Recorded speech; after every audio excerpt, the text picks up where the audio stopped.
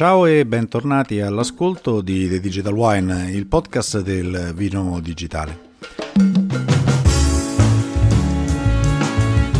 Questa volta come episodio di Natale eh, vi, vi, lascio con una intervista che ho fatto al, al BTO a Firenze dove ho incontrato Matteo Turato che è un uh, wine ambassador per venissa.it.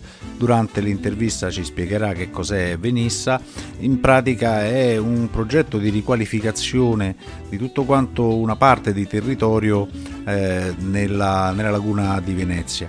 Hanno riscoperto e riportato alla luce un uh, antico vitigno e da lì poi è nato tutto quanto un progetto chiaramente commerciale ma soprattutto un progetto che serve per uh, riqualificare un territorio un territorio deve essere riqualificato non soltanto con le idee imprenditoriali ma anche con l'aiuto di tutte quante le persone che ci vivono e è questo quello che stanno facendo a Venissa. Matteo ce lo racconta in questa intervista e io quindi vi lascio all'ascolto e ci sentiamo alla fine dell'intervista. Grazie.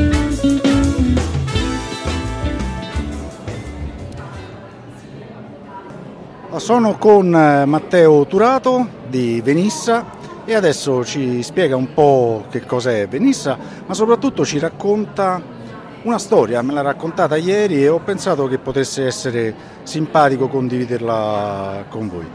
Matteo, grazie di essere qui a The Digital Wine. Grazie a te, grazie a te, è un piacere. Allora, che cos'è Venissa e tu che cosa fai per Venissa? Allora, io, io mi chiamo Matteo Turato, sono il Wine Ambassador di Venissa, quindi mi occupo della parte eh, commerciale eh, sostanzialmente. E Venissa è quel progetto eh, nella laguna di Venezia, precisamente nell'isola di Mazzorbo, ehm, in quell'area che è definita la Venezia nativa, quindi tra Mazzorbo, eh, Torcello e Burano e appunto è una, una parte delle, di Venezia che è eh, più legata alla, alla, natura e alle tradizioni eh, agricole e, e, artigiane in generale di, di Venezia. E quindi eh, per secoli le, le, popolazioni veneziane in quest'area hanno eh, vissuto un, a ritmo della natura rispetto alla, alla città di Venezia, no? quindi è un, universo completamente diverso, lo è sempre stato attraverso eh, gli anni, i secoli. E in questo contesto... Non è regione di Gran Seole quello? Come? Non è regione di, della Gran Seola, il granchio ah, beh, certo, sì, sì, le tradizioni appunto sono anche quelle legate comunque alla pesca e, alla, mm, eh sì, alla, alle moeche e, e, e granchi, esatto. Granchi. E alla muta e poi vengono in particolari eh, periodi dell'anno vengono appunto fritte ed è, ed è molto popolare, sono squisite, esatto. E, e, quindi la, stavo dicendo che la famiglia Bisol, famosa per la produzione di Prosecco, quindi la ventunesima generazione di produttori di Prosecco da Santo Stefano, dal cuore di Valdobbiadene, nello specifico con eh, Gianluca Bisol. E, è partito questo progetto uh, unico nel suo genere che è di fatto un progetto di recupero agricolo, cioè è nato tutto dalla, uh, dalla scoperta, anche eh, un po' per caso, eh, di, di, questa varietà autoctona che pochi conoscono, che si chiama Dorona, con la D. E è un incrocio naturale tra la garganega, molto conosciuta nella sì. regione Veneto, e la bermestia bianca che ormai è, è estinta. Ah. Però la particolarità di questa dorona è che da una parte è sempre stata nella laguna di Venezia, nelle isole della laguna, quindi anche eh, il primo valore è quello della biodiversità di Venissa e soprattutto ha sempre, eh, ha sempre beneficiato di una sorta di simbiosi eh, con la laguna di Venezia, col luogo in cui è sempre stata in questi secoli. Quindi è estremamente interessante eh, vedere come questa varietà eh, è in simbiosi e quindi le caratteristiche, le condizioni di maturazione, il suo comportamento, le sue caratteristiche sono eh, pressoché perfette per, eh, per, per, il luogo dove ci troviamo. Perché, perché, di solito la laguna di Venezia si associa a tante cose ma non certo a, al vino. Esatto, è proprio questo uno dei, dei punti fondamentali da cui partiamo quando eh, iniziamo a parlare del, del, progetto De Venissa, cioè la riscoperta non solo della biodiversità, che è un nostro eh, importante valore che, che, portiamo avanti, ma anche appunto la, la, riscoperta e la rivalorizzazione di tutte quelle che sono le, le tradizioni, le vecchie tradizioni agricole che, che hanno sempre caratterizzato le, le, le, isole della laguna. Sì, perché poi in, la laguna di Venezia è piena, io stavo vedendo tempo addietro un documentario e c'è una biodiversità enorme, qualcosa che eh, uno va sempre a vedere i posti esotici, ma in effetti ce l'abbiamo dietro casa questo posto esotico che è proprio la laguna di Venezia, perché eh, tra, da lì fino giù, fino alla parte del Polesine, eh, ci sono delle, delle, varietà di flora e di, fauno, e di fauna incredibili. Sì, assolutamente. Eh, basti pensare che ehm, ci sono de- delle specie di uccelli provenienti da tutta Europa che vengono a nidificare nella laguna di Venezia e, e quindi ehm, c'è un ecosistema eh, lagunare che appunto eh, include questo esempio ma anche tantissime varietà di erbe, eh, di, di, specie vegetali che, che, caratterizzano quelle che vengono chiamate le barene, quelle lingue di terra che ah, appaiono sì. e scompaiono con il ritmo delle maree.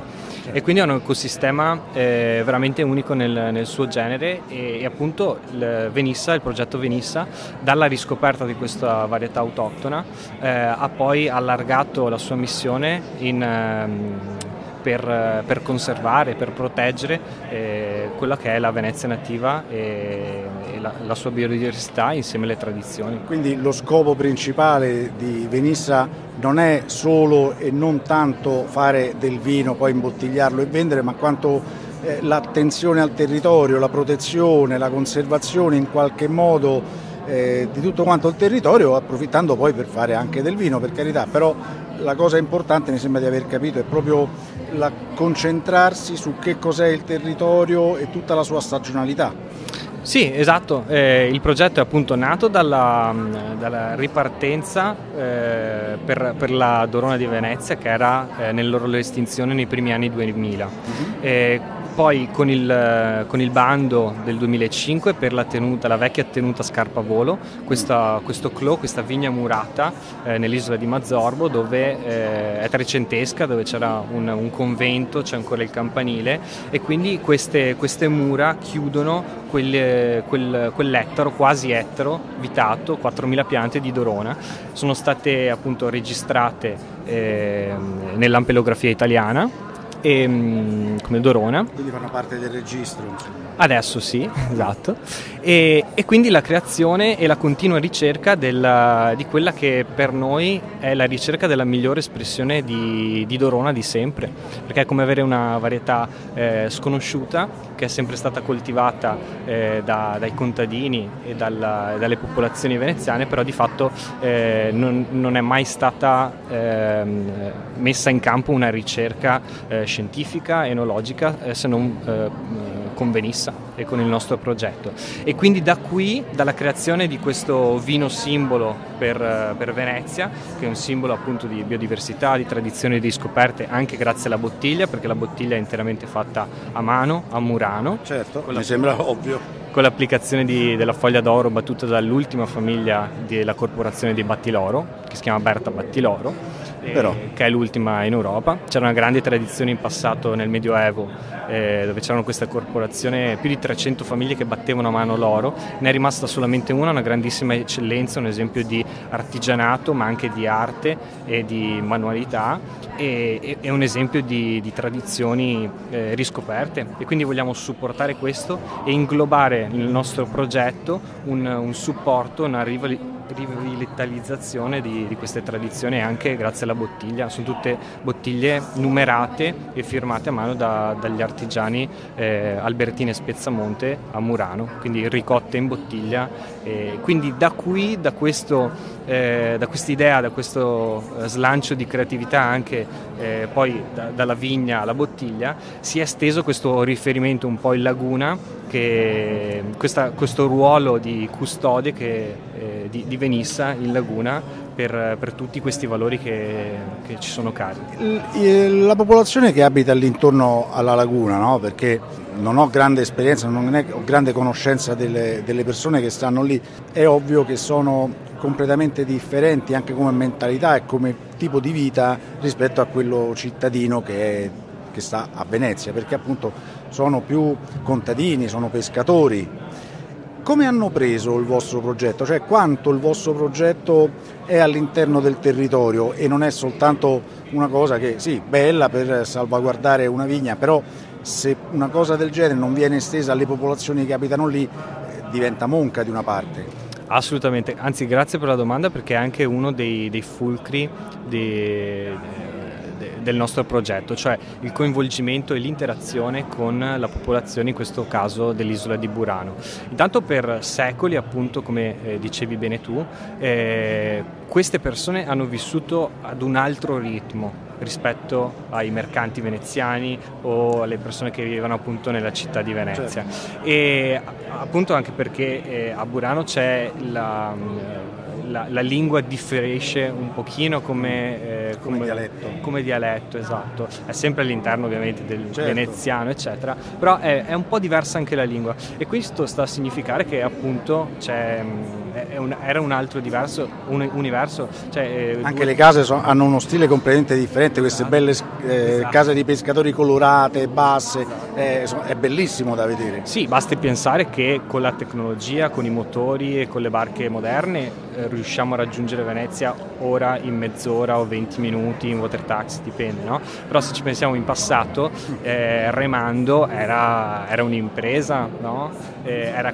molto lontana rispetto sì. a, a, quello che è effettivamente oggi. Ma eh, noi abbiamo messo all'interno della tenuta, abbiamo eh, riservato un lungo spazio, una lunga striscia di orti, ehm, come spesso si fa tra l'altro anche nelle grandi città italiane e europee, in eh, la possibilità alle, alle, persone, in questo caso eh, una decina di anziani nell'isola di Burano, di coltivare eh, le, vegetali, ortaggi, eh, ah, un orto, come un orto urbano. Come un orto urbano, loro possono eh, coltivare quello che vogliono, piantare e curare quello che vogliono e poi possono portarsi a casa eh, ciò che hanno, hanno prodotto. Ovviamente eh, un, un, certo spazio dell'orto è riservato ai nostri chef, certo. sia per il ristorante stellato sia per l'osteria contemporanea, che in ottica di sostenibilità e autoproduzione ehm, utilizzano appunto le, gli ortaggi e le verdure che sono prodotti dal nostro orto nella nostra tenuta, quindi superando anche quello di fatto che è il concetto del chilometro zero, no? proprio all'interno della nostra tenuta e prodotto da, da noi. E quindi c'è anche uno scambio, un, un, circolo virtuoso che si instaura tra i giovani chef che lavorano a Venissa nei nostri ristoranti e, e, e la popolazione locale. In questo caso sono anche anziani, quindi racchiudono una serie di saperi, di tradizioni e questo scambio è, è molto bello ed è un esempio virtuoso di come si possa integrare appunto un nuovo progetto eh, con dei valori che protendono alla, al futuro e anche molto innovativo, ma comunque rimanendo eh, attaccati a quelle che sono le tradizioni anche con la popolazione locale e hanno preso molto, molto bene questo, questi progetti ovviamente e anche un modo per creare nuovi posti di lavoro in un, in un luogo che, che, dopo gli anni 60, dopo la grandissima acqua alta che tra l'altro sì. ha, ha, messo a repentaglio anche la, la Dorona, eh, la certo. varietà autoctona veneziana, e, ehm, appunto eh, anche la, il problema della, de, della, popolazione perché a Torcello adesso ci sono 10-11 persone che sono nate eh, lì a Torcello, quindi c'è stato uno spopolamento eh dopo, sì. negli anni 60-70. Eh no? sì, immagino, immagino. Quindi, è, quindi in pratica è un progetto per il futuro che però nasce appoggiandosi sulle spalle del passato, come dovrebbe essere, non è un qualche cosa di completamente nuovo che il passato lo rinnega o comunque se lo dimentica, anzi nasce appoggiandosi sopra e andando ancora più avanti. Esatto, nel, nel, in questo contesto qui è molto importante anche eh, comunicare di come il nostro vino vuole essere la, l'esperienza quintessenziale della Venezia nativa, di questo luogo. Perché? Perché il nostro vino è un orange wine, quindi un, un vino macerato sulle bucce. E quindi perché, ora parliamo molto di orange wine, a volte per mode, a volte perché si, ri, si, riprende una moda del passato, eccetera. Sì, Ma, vini macerati, vini macerati soprattutto, sì. Esatto. Però a Venezia eh, non lo sanno in molti, ma era una necessità macerare la, in questo caso la Dorona, questa bacca bianca. No? Perché? Perché eh, anche a Venezia, anche in centro a Venezia, ma anche nelle isole, non era possibile senza tecnologia, stiamo parlando, stiamo parlando di 100, 200, 300 anni fa, non era possibile avere le cantine sotterranee. Ah, certo. E quindi a quel punto era obbligatorio, era una necessità fare lunghe macerazioni sulle bucce, andando ad estrarre, a macerare, esatto, quindi estrarre mannoproteine, antiossidanti, tannini. Sì, sì e quindi per forza veniva un, un, un vino uh, dorato che richiama anche non solo l- il colore del vino ma anche della bacca che arriva a completa maturazione a settembre. No? Quindi a quanto pare l'oro comunque fa parte. No, della, de, della, storia in qualche maniera della geografia del, di Venezia perché la foglia d'oro, il vino dorato, eh beh, è normale. Insomma. Ritorna in una serie di tradizioni come questa, appunto, di fare la Dorona, di vinificarla in chiave macerativa. Quindi per noi eh, bere, degustare il vino eh, prodotto da Dorona eh, è un modo per ripercorrere una, una, tradizione antica, quindi macerare il vino perché poi veniva lasciato in stanze non certo. fresche, no? quindi doveva essere strutturato, altrimenti sì. non potevi berlo dopo l'estate. Eh no, certo. E quindi è per questo che sentire del tannino, vedere il vino dorato, che abbia un certo gusto sì, sì. in chiave macerativa appunto è un'esperienza autentica nella Venezia nativa. Eh sì, perché ovviamente essendo un'uva bacca bianca in teoria non ci dovrebbe essere il tannino perché come tutte le uva bacca bianca, tranne che quando si fa una grande macerazione dove invece si sente perché appunto c'è una grande estrazione di antociani e tannini sulle, che stanno sulle bucce. E come, come sta andando questo progetto? Cioè queste bottiglie, io ad esempio sono di Roma, dove si possono trovare? Li posso ordinare, le posso bere da qualche parte, eh, posso anche venire su a trovarvi, eh, per carità, questo mi farebbe piacere, però altrimenti chi abita da un'altra parte come le può trovare queste bottiglie? Bah, ehm, sicuramente il modo migliore, è, come dicevi tu, è scoprire questa storia, i, i nostri valori, il nostro progetto eh, a Venissa, nella nostra tenuta. E abbiamo un, ehm, la possibilità di accogliere eh, gli wine lover che, che, vogliono fare questa esperienza eh, di visita e degustazione lì nel, nella vigna murata a Mazzorbo. E quindi abbiamo tramite il nostro sito è possibile prenotare l'esperienza eccetera. Ma abbiamo anche un, un e-commerce e quindi è possibile acquistare il vino anche tramite il nostro sito e, oppure mandandoci una mail e, e normalmente eh, abbiamo, facciamo poche bottiglie, quindi ovviamente la, il canale distributivo non può essere soddisfatto quanto eh, i nostri partner vorrebbero, eh, però diciamo che facciamo quello che possiamo, è una, è una grande... Mh, mm, è un grande sforzo. Una grande sfida. È una grande sfida, eh, però diciamo che te, cerchiamo di avere il rapporto quanto più stretto possibile con il consumatore finale, perché è, ovviamente è una storia eh, di grande trasporto eh, emozionale, emotivo e, e, quindi le persone eh, naturalmente vogliono avere, hanno una predisposizione naturale ad avere un contatto diretto quanto sono state coinvolte. No? Sì, anche perché io parto dal principio che oggi con l'e-commerce abbiamo la possibilità di bere vini che vengono da tutte le parti del mondo, dell'Italia, senza doverci troppo spostare. Però almeno una volta nella vita un vino va bevuto nel luogo dove viene prodotto. E penso che mm, mi faccio un'immagine conoscendo un po' quelle zone, Torcello, Burano la Laguna di Venezia, non sono un grande conoscitore ma ci sono stato più volte io immagino già la, la, anche il romanticismo di bere questi, questi, vini color orange, color oro ramato, me li immagino, con questa nebbia che c'è sempre da quelle parti. Magari è forse soltanto una mia immagine romantica, però sicuramente sarà molto più bello bere del vino eh, all'interno di questa regione che non a casa in una città, perché poi diventa, diventa tutto, cioè si appiattisce tutto quanto. Almeno una volta qualsiasi vino andrebbe bevuto nel luogo dove è prodotto, nella campagna dove è prodotta. Sì, io credo che ehm come dici tu, almeno una volta bisogna berlo un, un, determinato vino dove è prodotto, davanti alla vigna dove viene prodotto. Però in questo caso stiamo parlando eh, anche di viticoltura eroica. Eh, sì. in, in, alcuni casi, in alcuni anni, eh, in alcune annate diventa anche eroica, come ad esempio... Ehm, nel nostro vigneto dei, dei, Rossi, è una vigna molto particolare, molto vecchia, a, a 20 minuti da, da Mazzorbo, da, dove abbiamo la vigna del Bianco, c'è l'isola di Santa Cristina. Ah. Questo è un progetto eh, se, secondo, a, perché prima è iniziato quello del Bianco, quindi nel 2010 la prima vendemmia del Bianco, ma nel 2011 c'è stata subito la vendemmia dei, dei Rosso, quindi nasce anche il Venissa Rosso. Ah. stiamo parlando di eh, Merlot e Cabernet Sauvignon e lì è una parte veramente remota della laguna dove bisogna scegliere accuratamente eh, quando recarsi in barca, ovviamente solamente in barca,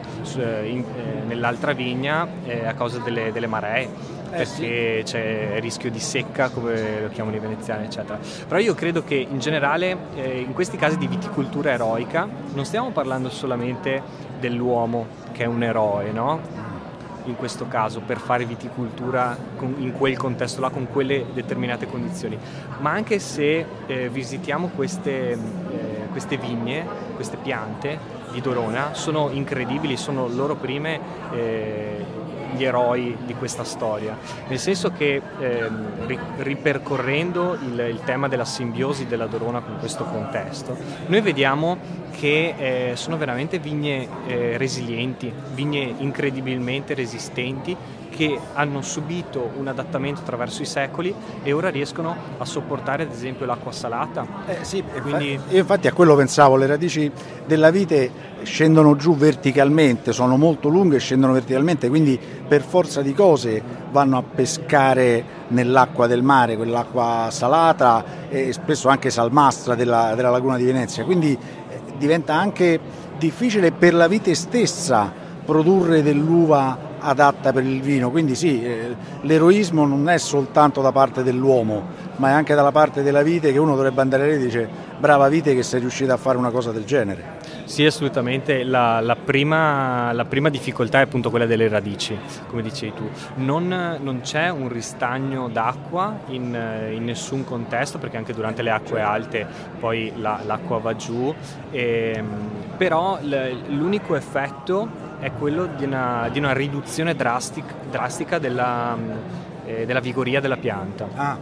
Quindi eh, è, è, un po' un, un, concetto che non è eh, molto semplice o intuitivo, no? sì, sì. però eh, è, è, possibile, eh, facilmente immaginabile eh, pensare al, alle radici che magari prendono il sodio e ce lo ritroviamo nel bicchiere, in realtà non è, non è assolutamente così, no, certo. tende a lasciare la radice, la pianta tende a lasciare il sodio e l'acqua salata nel terreno, è qualcosa che sì, va contro alla, alla, pianta, però questo, questo, attacco, questo stress molto intenso eh, rivolto alla pianta poi la induce naturalmente a, a produrre poco quindi la, ovviamente la, la produzione è, è, bassissima, ma queste piante riescono a concentrare così tanto il, il succo, l'uva e le sostanze che, eh, che vi sono eh, nei, nei, grappoli eh, che appunto raggiungiamo eh, a volte anche un solo grappolo per pianta e sono grappoli assolutamente eh, piccolissimi, no? E sto parlando ovviamente del, del nostro primo vino, il, il Venissa sì, Bianco. Sì, sì, Senti, se, allora, darci qualche riferimento anche digitale, va, visto che ci troviamo. È, se uno vi vuole cercare, intanto qual è il sito principale dove andarvi a cercare dove trovare tutte le informazioni? Bah, il sito principale è www.venissa.it e potete trovarci anche su, su Instagram con Venissa Tenuta. E, ehm, e appunto abbiamo anche eh, 5 camere, un ristorante stellato e, mm, e, e un bistrò, eh, un'osteria contemporanea. ti ringrazio Matteo, è stata una storia veramente interessante alla riscoperta di qualche cosa che forse andando sempre un po' tutti quanti di corsa noi ci dimentichiamo no? di tutte quante queste piccole storie che poi alla fine per chi ci abita invece sono, sono grandi perché poi sono, sono la loro vita. Grazie ancora Matteo. Grazie a te, grazie mille.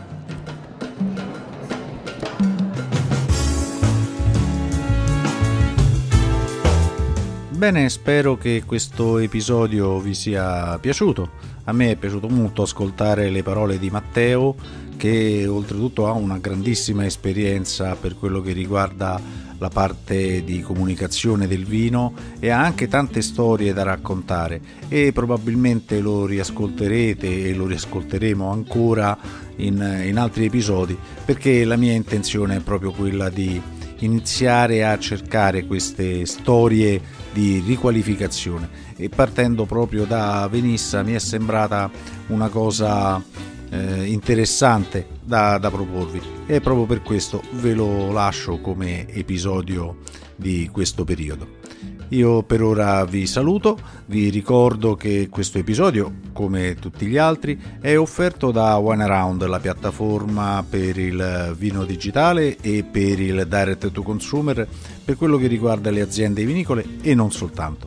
Ricordatevi winearound.com se volete imparare qualche cosa in più sul direct to consumer e volete un valido aiuto per entrare all'interno di questo canale di vendita. Vi ricordo anche il canale Telegram dei Digital Wine Lovers, lo trovate su digitalwine.com slash telegram e soprattutto se il podcast vi piace allora potete pensare di sovvenzionarlo, di finanziarlo eh, sottoscrivendo un abbonamento annuale alla newsletter. La trovate su thedigitalwine.com slash newsletter. È un modo interessante secondo me per eh, finanziare i podcast indipendenti, per finanziare l'informazione autoprodotta, così come The Digital Wine e quindi thedigitalwine.com slash newsletter. Bene, io vi lascio qui, vi auguro buone feste e mi raccomando bevete con moderazione, ma soprattutto mai prima di mettervi alla guida. Ci sentiamo all'anno prossimo e al prossimo bicchiere.